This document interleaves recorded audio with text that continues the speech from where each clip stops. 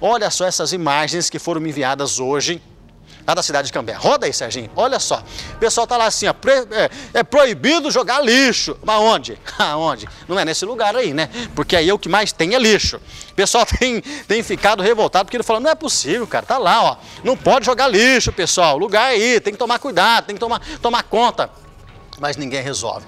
Isso aí é um dos pontos da cidade de Cambé. Um pastor que passou lá e falou: Cid, fala aí para mim, tá difícil o negócio aqui, ninguém resolve nada, cara, ninguém resolve nada.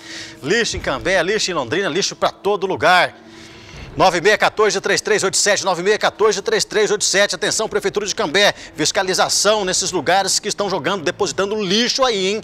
Fiscalização, 9614-3387. Vem para mim, Serginho, outra situação da cidade de Cambé, o pessoal tem reclamado também sobre o asfalto no Jardim Novo Bandeirantes.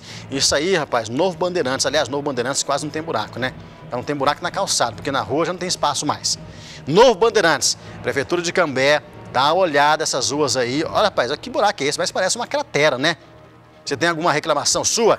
Mande para mim, tá? 9614-3387, 9614-3387. Deixa o seu recado, sua mensagem, sua sugestão de pauta, reclamação do seu bairro. Ô Cid, eu quero que você faça uma matéria aqui. Eu vou combinar e vou aí no bairro para a gente buscar uma solução para você, tá? 9614-3387. Obrigado, pessoal.